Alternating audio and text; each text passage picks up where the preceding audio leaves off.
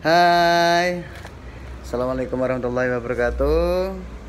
Jadi kali ini aku mau bongkar paket sekaligus uh, Aku mau sharing-sharing kenapa aku beli paket yang ini tipis banget. Oke kita buka apa isinya.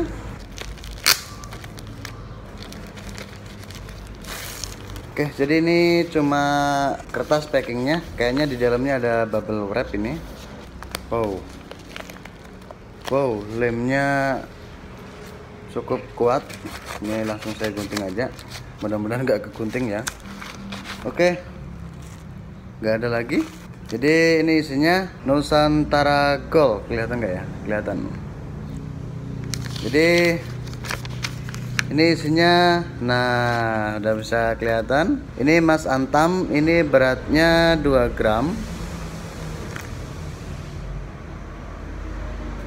2 gram sekarang kita cek dulu ke asliannya. Ini kita pakai aplikasi Certi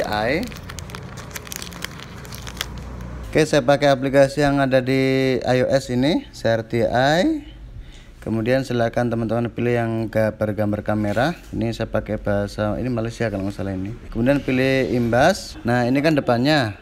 Kemudian teman-teman pilih yang bagian belakang. Bergerak lebih dekat oke. okay. Sedang memproses. Uh, no image available. Nah ini sudah tampil perusahaan yang menjual. Jadi nomor serinya sudah terdaftar.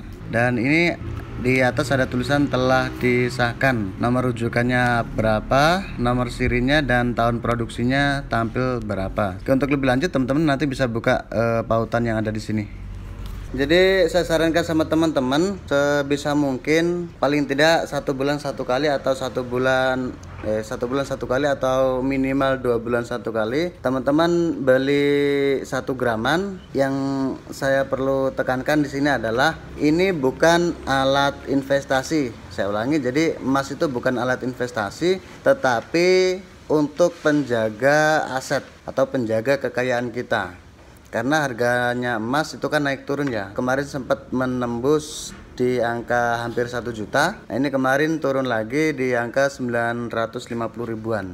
Tentu saja kalau teman-teman belinya online itu biasanya agak mahal. Jadi kalau di kotanya teman-teman ada gerai Antam atau mungkin UBS, UBS atau SB itu ya usaha sukses bersama itu apa? USB kalau nggak salah itu ya. Itu biasanya harganya nggak beda jauh. Jadi antara emas USB dengan Antam itu nggak beda jauh paling sekitar beberapa puluh ribu saja. Jadi kalau teman-teman bisa satu bulan satu gram itu berarti teman-teman dalam satu tahun sudah bisa mengumpulkan sebanyak 12 gram nah ini saya ngikutin saran dari guru saya. Investasinya cukup simpel. Jadi kalau uangnya kita itu belum cukup atau bahkan mungkin kurang setiap bulan karena mungkin kita masih punya angsuran ya jangan dulu mikirin investasi. Jangan dulu mikirin investasi. Jadi perbanyak dulu income kita tambah income kita dari berbagai sumber. Mungkin bisa freelance atau buka usaha kecil-kecilan sampingan di rumah. Kemudian kalau sudah cukup nah baru kalau kebutuhan hari-hari sudah terpenuhi teman-teman mikir dulu dana darurat. Dana darurat. Fungsinya untuk apa? Fungsinya untuk ya kalau sewaktu-waktu terjadi terhadap hal-hal yang nggak kita inginkan.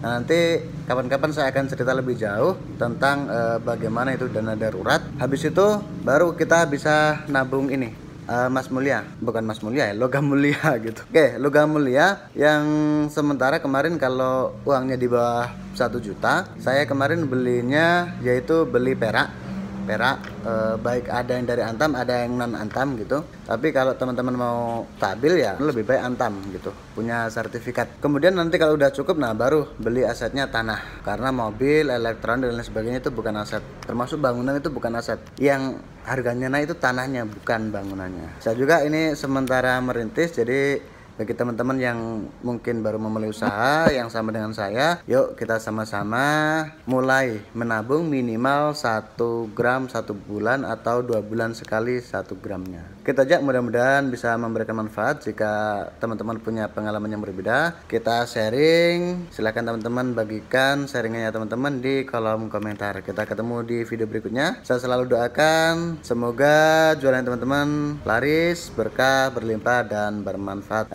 assalamualaikum warahmatullahi wabarakatuh. Bye bye